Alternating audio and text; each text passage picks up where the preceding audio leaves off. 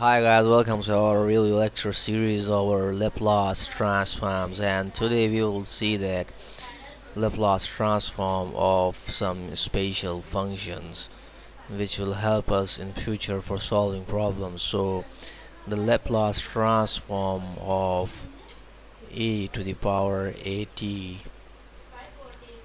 dot t to the power n is equals to n factorial divided by s minus a to the power n plus 1 and the second identity we have Laplace transform of e at cos hyperbolic bt the Laplace transform of this function is equals to s minus a upon s minus a squared minus b squared.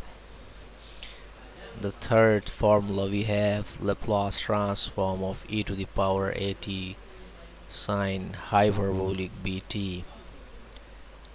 This is equals to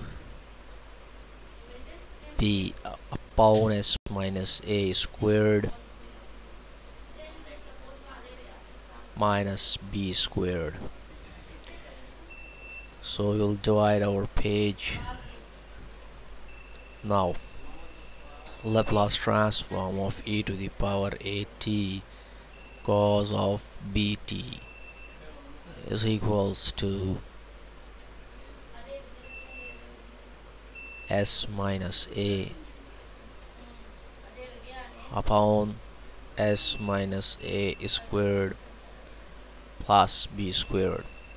And then Laplace transform of e to the power at sine bt is equals to a b upon s minus a squared plus b squared. So these are some general forms of the Laplace transforms which will help us in future for solving problems. Thanks for watching the video. Thank you